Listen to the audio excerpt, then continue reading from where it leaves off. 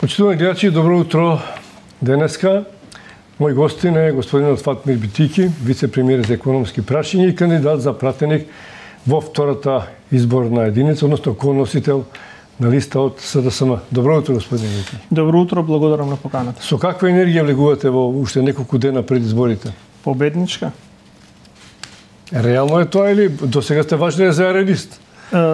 па Секој си поставува а, цели, а, некои се обшти, колективни, некои се индивидуални. А, јас со сигурност а, тврдам дека тоа што го нудиме на овие избори е а, далеку подобро од целата политичка понуда која што е на, на располагање на, на граѓаните затоа што ако ја гледате парламентарната кампања, во суштина нема а, понуда за граѓаните, туку од има празни зборови. По и од опозицијата, и од ВМРО, ДПМН, и од другите партии.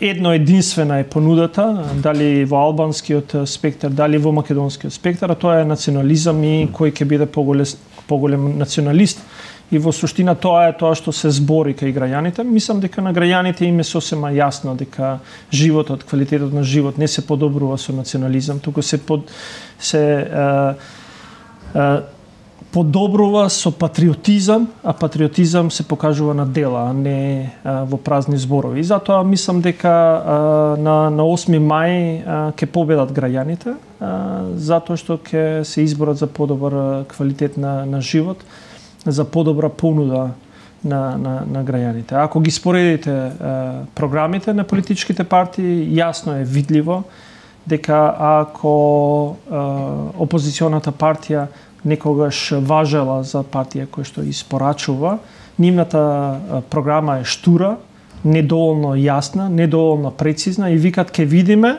кога ќе дојдеме на власт, што ќе правиме и како тоа ќе изгледа, затоа што еве ние сме можеле вчера слушнав таква изјава или завчера веќе не знам од деновите, слушнав таква изјава, рекоа па може би да не ископираат овие од СДСМ, па затоа не сме ги покажувале моделите. Не, драги мои сограѓани, они не знаат како тоа треба да се направи. А, ги прашуваат како ќе го спроведат ветувањето, едно од ветувањето, иначе нема многу ветување, па многу лесно е да ја прочиташ во еден од целата програма. Едно од ветувањата за пензионерите 5000 линеарно зголемување. Сите економисти буквално дали се опозицијски настроени или позицијски настроени се плашат од едното такво а, ветување. Како тоа ќе го направите? Ќе видиме кога ќе дојдеме на власт. И сега јас се радувам дека сум представник на една политичка партија која што имаше една мантра на ке, станавме партија на исполнување на ветувањата, наспроти една партија која што беше позната со спроведување на работите и стана партија на ке. Така да ги сменивме улогите, ВМРО е партијата на ке, ке продолжи најверојатно да им кажува на граѓаните ке видиме, ке видиме што и како ќе се случува. Ние имаме јасна политичка понуда, имаме јасна енергија која што се гледа во целата програма која што е, е понудена, затоа што е поставена на здрава основа и реално лесно е за спроведување на наредните 4 години. Но свесен сум дека на крај на денот е изборот на на граѓаните. И затоа велам победнички затоа што мислам дека граѓаните лесно може да направат споредба. Ако ако ги видите, можеби тоа е, е, е нивниот начин на како смета дека треба да се владе, а тоа е во целата парламентарна кампања ние скоро да немаме соочување на ниво на е, идеи и програми, туку е, имаме вако единечно представување на нешто што треба да, да наликува. Секоја високо демократски имаат соочување на програми и понуди пред граѓаните за да граѓаните можат да проценат. Но бидејќи нема од другата страна понуда, нема и соочување. Господине Битики, доста често ги браневте овие достигнувања што вашиот сектор и партија ги правеше во, во рамки на една владина коалиција, но ова ке веројатно е некој код кај граѓаните и кај гласачите, дали повеќе веруваат на ке, одошто на нешто што е испорачено, па тоа го сметаат дека тоа требало така да биде. И сега веруваат во нешто, дали националното преовлада, дали ветувањата е сплит на, на, на околности. Ако видите што се случува во цела Европа, а, после низа години на кризи во целиот свет, а, после низа години на кризи, а, не може да очекувате владеачка партија да има ист, ист рейтинг, затоа што а, во справувањето со кризи секогаш има можело и подобро. Mm -hmm. И тоа е општа, општа констатација. А, веројатно а, опозицијата имаше доволно време за а, да размислува на различни начини а, да представи нешто што е поврзано со личниот идентитет малце повише него со а, тоа што би го подобрило квалитетот на живот, но севкупната повише на емоции. А, но севкупната а, констатација моја од овие од ова искуство на парламентарните избори е а, дека жалам што граѓаните пропуштаат да слушнат кој реално а, има добра понуда за да го подобри својот а, квалитетот на живот на граѓаните во сите сфери. Останувате на оние ветувања, на оние програмски определби дека платата ќе се зголеми просечна. Да, да, ние имаме ние ние во во програмата нудим нудиме а, или програмата е базираме на седум а, столба. Првата е нова економска енергија за европски а, раст и стандард на на граѓаните. И овде зборуваме каква ќе биде нашата енергија, как економија и како ќе се подобри животниот стандард на нашите на нашите граѓани. Ќе се подобри ли? Па да, затоа што нашето ветување е дека до 2028 минималната плата ќе биде 600 евра, просечната плата 1100 евра, што не прави се уште да сме конкурентни, но да се живее многу подобро од ден, денеска. Тоа е на реални основи. Го... Апсолутно на реални основи и ако ја видите понудата од другата страна, викаат ќе оставиме да има природен раст. Колку е тоа природен раст? Ние знаеме како беше во времето до 2016 природниот раст продуцира минимална плата од, од 9000 денари и просечна плата од 20000 денари. Кај нас природниот раст плюс бустирање, плюс добро предвидливо обкружување за стопанството и економијата продуцира денеска просечна плата од 40.000 денари и минимална плата од 22.500 денари. Јас сум еден од политичарите на сегашната власт кој што вели свесни сме дека се уште ова не е достоинствено но е многу подостоинствено од тоа што го имавме предходно и многу подостоинствено е тоа што го нудиме од тоа што другата политичка партија а, го нуди како таква, затоа што тамо нема понуда. Добро, и затоа, кога ќе слушнете, а, читав еден од нивните експерти за економија, вика, не се ветувало во апсолутен износ. Дајте кажете што и како животот на граѓаните ќе изгледа подобар после 4 4 Значи години. вие сте сигурни дека со нивното владење граѓаните ќе добијат полош економски стандард. Да. Полош услови. Да. Тоа сака да кажете. Uh, не сакам да кажам, јас со целиот мој интегритет кажувам дека тоа ќе се случи. Ако они добијат владење или прилика да владеат, граѓаните ќе живеат далеко полошо него што тоа би го направиле со нашиот фокус како политичка партија. А Затоа што справат... од друга страна ние нудиме дека тоа ќе се случи, ние одиме и подалеко. Не идеме само во еден мандат. Велиме до 2028 да, тоа ќе се случи, но веќе при првата година во влез во Европска унија проектираме колкави ќе биде и минималната плата и просечната плата.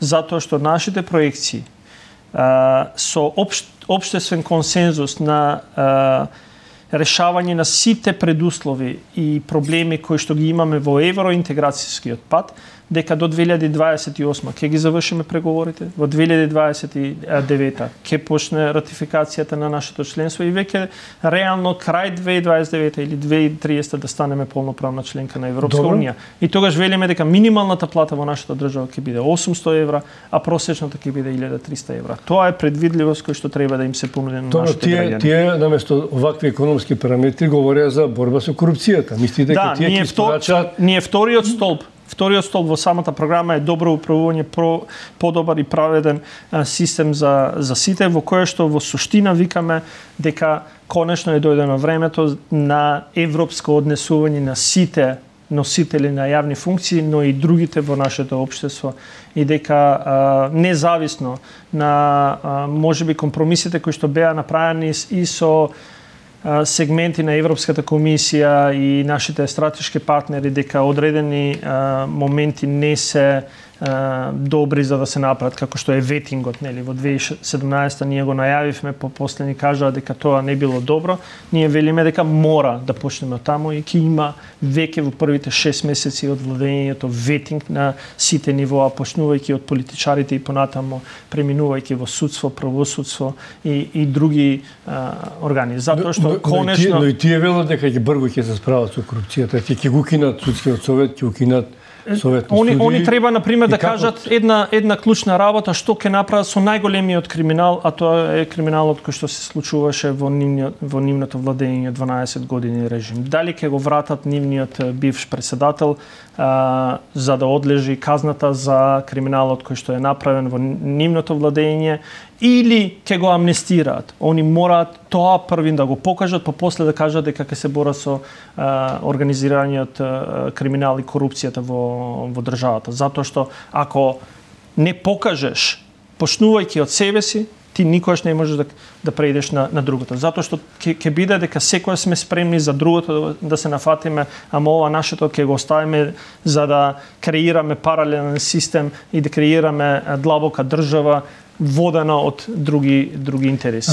Едно од перспективите беше европската перспектива да. што ми нудевте на граѓаните. Голем број 65-70% од граѓаните се на вистина за членство во Европската унија, но почнаа сите да се лепат на таа идеја и тоа стана маргинално дека па добри други веќе не однесат во ЕУ. Не, Зошто ни, вие? ние ние еден од столбовите од седумте столбови ние Македонија во ЕУ 2030 но сите пет други столбови, тоест шест столба предходно, во програмата зборуваат за европски стандард на живење пред Македонија да стане полноправна членка во Европска Унија. Ние веќе сме одлучени дека треба да се почне со сите реформи кои што ќе го подобрат животот на граѓаните овде. Еве третиот столб затоа што првите два столба ги спомнав. Нова економска енергија за европски раст и стандард, второто добро управување, подобар и праведен систем за сите. Третата е грижа за сите. И кога таму ќе видите, вика повеќе и подобро за сите, европски стандарди за македонско здравство и образование и вештини за европска иднина. Значи зборуваме за конечно реформи за да целосно се издигнат овие услуги кои што на граѓаните е, треба да им се дадат затоа што они ги заслужуваат, бидат на ниво кое што е достоинствено. Сега направени се и шекори, но далеко сме од тоа што го ветуваме во овие 4 Ајде, години. брзина, Четвртото е европски да. квалитет на, на, на живот во кој што зборуваме за чиста и зелена а, Македонија во смисол на а, енергија, култура за сите, обединените во различностите, спорт за здрав живот и дестинација, тоа е европската а, Македонија која што ја нудиме како туристичка дестинација. Сакам да кажам дека има два пристапа. Да зборувате за Европа и да видиме на нешто абстрактно и да работите на достигнување на а, живот кој што личи на европски живот, достоинствен, пред да станете земја членка на Европска А, можно ли е, освен национализмите и наметнувањето на темата за корупција и за дуизација на владата да била доминантна во одлучувањето на граѓаните против вас? Против вас. Мислам да се намали довербата, инаку не знаеме како ќе завршат избориве. Се уште имате шанси да се изборите за секој можно, гласач. можно е, можно е, затоа што а, ја внатрешно а, знаат дека често сум знаел да бидам гласен, да кажувам дека не може да бидете полни и да имате полна уста со европско однесување, о, или со Европска унија, извинете, а да немате европско однесување.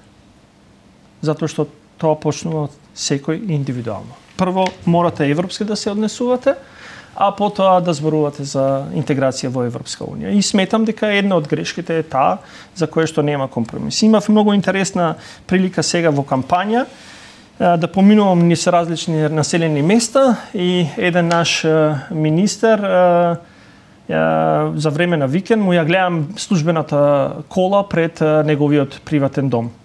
И отидов и му оставив лифлет и му пуштив благодарница дека еве можеш да ме гласаш затоа што ова е не европско однесување, затоа што за време на викенд службеното возило не треба да биде пред приватен дом, туку треба да биде у гаража на општите заеднички служби, затоа што не треба да се користат јавните ресурси.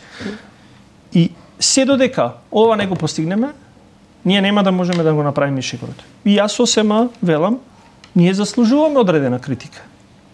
Но кога граѓаните ќе слушнат дека сме свесни за ова што го збориме, сметам дека заслужуваме исто така да не подршат. А, се вели меѓу меѓу медиумите, меѓу експерти, пиар експертите дека може би малку во јавниот дискурс опозицијата наметна тези дека сте неуспешна во многу сегменти и тоа се прифати како општо мнение кај граѓаните. Не успеавте да издоминирате со направеното, туку повеќе тие со нападите дека така се креираше јавно мислење? Да, таа констатација мислам дека е валидна. Зошто успеа? Веројатно затоа што истиот стил на водење и раководење го пренесоа од предходното нино раководство, па имаат различни начини како да стигнат до каналите за пренесување на информациите Мислите до на она машинерија што Груевски ми оставил, што ми ме споменува? Да, да со подршка на други центри на моќ кои што на нашата држава секако и се препрека во патот за евроинтеграција, како што беа препреки за евро а, а, нашето интегрирање во во НАТО. Тоа се случи, па сега не може тоа тамо нешто да сменат и велат барем ќе направиме доволно работи за да се испречиме на патот за европска интеграција на малата држава Македонија. И центрите на моќ знаат тоа умешно да го направат преку различни начини. Сите ги знаеме кои се тие сили кои што едноставно не сакаат нашата држава да ја видат полноправна членка на Европската унија. Добро, одите во кампања, рековте одите од куќе на куќе повторно, предпоставувам. А, и ми пренесувате овие седум столба, ги убедувате дека ќе биде подобро со вас. Што, и, се, што се, им говорите на граѓаните? Се, се, се ли дека можете да ги малку се, малку се обидуваме да, да стигнеме во секој дом буквално во секој во секој дом. Некои со разговор, имат, реално со Да, некои имаат изградени а, ставови, некои се уште немаат изградени ставови, некои а, се склони да не излезат на на гласање. Ги убедуваме дека никој не треба да а, ги занемари а, изборите и гласањето е, е највисокиот демократски чин кој што а, треба да го искористат затоа што гласат за својата иднина. А, за жал времето не не не дозволува а, буквално да бидеме во во секој еден дом, но се обидуваме што повеќе е можно а, не на исто мисленици, и на исто мисленици, и на луѓе кои што немаат изградено ставови да не слушнат и да стигне правата порака до нив, за да не имаме ситуација во кои што после одредено време ќе кажеме направивме погрешен избор. А, господине Битики, Македонија со тешка мака во децени гради мултиетничко општество. Зошто на циклично вака во разни периоди повторно национализмите испливуваат на воде и граѓаните се лепат? Затоа што политичките партии кои што немаат понуда за граѓаните се враќаат на национализмот зашто тоа е најлесно. Паѓаат на емоции. Еве тоа... јас ќе ви кажам, треба да име срам на сите кои што по 30 години велат дека се во политика, по 20 години можеби на власт, кога ќе отидете во населено место и газите кал. Тоа е, јас не, тоа е јас, не, јас не тврдам дека секој едно населено место треба да, да биде асфалтирано, но треба да биде пристојно место за живење. Треба да има канализација, треба да има вода за пиење и, и достоинствен пат, затоа што некојаш може да го решиш патот и на друг алтернативен начин mm -hmm. освен асфалт. Mm -hmm. Затоа што асфалтот не иде и во секое рурално mm -hmm. и населено место. Ако отидете во Швајцарија, не секој пат е асфалтиран, но е пристоен. Луѓето сакаат да живеат и на таков пат. И да тврдиш дека најбитно е национализмот. И како ти се чувствуваш, а 30 години си на власт или си во политиката и да одиш и да бараш глас таму кај што се загушуваш од прашина, треба да се срамиш. Па, и јас сум кажал често дека мене ми е лесно, мене ми е лесно. виреат во такви средини, за жал. Па, па затоа што е лесно за манипулирање. Затоа што ќе ги оставиш луѓето да живеат недостоинствено во мизерни услови, за да можеш утре полесно да можеш да едноставно отидеш и им побараш глас со давање на одредено наветување кој што пак нема да го исполниш. Но, Затоа што еве јас сум кандидат за пратеник во изборна единица во која што партијата која што очекува да дојде на власт ги води скоро сите општини. Да, надвор од една општина Липково и Арачиново, кои што се мали mm -hmm. рурални средини кои што ги води а, а, Дуи Сите други се водат од и да, Чуче Сандево е од СДСМ. Сите други се водат од ВМРО. Одете, прошетајте и ќе видите три години се на власт во локалната самоуправа. Буквално ништо не е подобрано. Нема што има, да живеам таму. Има повеќе смет, има неисчистени улици, неасфалтирани улици, неосветлени улици, има буквална катаклизма случено последните три години и они тврдат со ветување дечки ќе биде подобро. Ама има не, треба, немаш да може. Ама да има треба во игралиштата ставиле. Па супер. Па да, затоа што ако има трева, некојаш таа во Да, да, да, ама некојаш обраснува над асфалтот тревата, па сега иако немале намера да направат нели да, игралиште со трева, веќе им станала над асфалт тревата затоа што толку се грижат. Вие Никогаш не се случило во поновата историја на оваа држава да во вакви урбани средини имате змии. Змиите се појавуваат низ патишта и ние викаме дека тие политичари ќе донесат подобро. Ве молам, јас сум кажал, кога јас ќе останам во политиката 10 години, и ако не се види промената која што е од моето работење се носи, јас ќе се заминам затоа што неам образ пред моите деца и пред сите други деца да излезам да го барам нивниот глас или да го барам гласот на нивните родители. Затоа што ништо не сум направил подобро. Затоа јас одам, затоа што знам што сум направил за македонската економија. Знам каква беше пред 4 години и каква е денеска. Знам колку компании се подржани во 4 години. 919 домашни компании се подржани во овие 4 години и буквално се помогнати да они направат 500 милиони инвестиции, нивни инвестиции, домашни, креират 5000 работни места. И при тоа, јас пак тврдам, дали можело повише? Секогаш може повише. Па, дали е повеќе од тоа што го имат направено ВМРО во нивниот мандат? Да, затоа што тогаш било нула. Ако видите што ВМРО нуди, вика ќе продолжиме да го правиме тоа што СДСМ го правело. Па Кој не знае така? Еве да го прашате двете мои деца кои што уште не, не се полнолетни да кажете како е најдобро, ќе ти каже па така како што прави тато. Зашто добро изгледа. Е, ајде малку за проекциите уште малку не остана време, бидејќи говоревме што вие сте направиле, говорите што граѓаните може да не очекуваат од, од нова влада на на ВМРО ДПМН, за која таа се подготвува, но влегуваме да, малку за национализмите мене ми е чудно бидејќи имаше со многу условувања сите што сакаат да вледат во власта, дали е Дуи, дали е Влен, дали е знам, сите имаат барање од ВМРО ДПМН. Како таа влада ќе функционира ако Влен вели ние сме најалбанската партија, ВМРО вели ние сме најмакедонската партија? Каква економски Јас велам дека ние сме најграѓанската партија. Ние сме партија која што е олицетворение на тоа што е нашата држава. Таа е мултикултурна, интеркултурна, целосна, сплотена, во која што сите различности се прифаќаат. Така да, било која страна која што тврди дека е репрезент само на еден етникум, да, тоа е добро, но нека се го држат тоа за себе. Затоа што ние мораме да бидеме репрезентативни. со две нации, значи ние Па веројатно веројатно тоа што сме го гледале.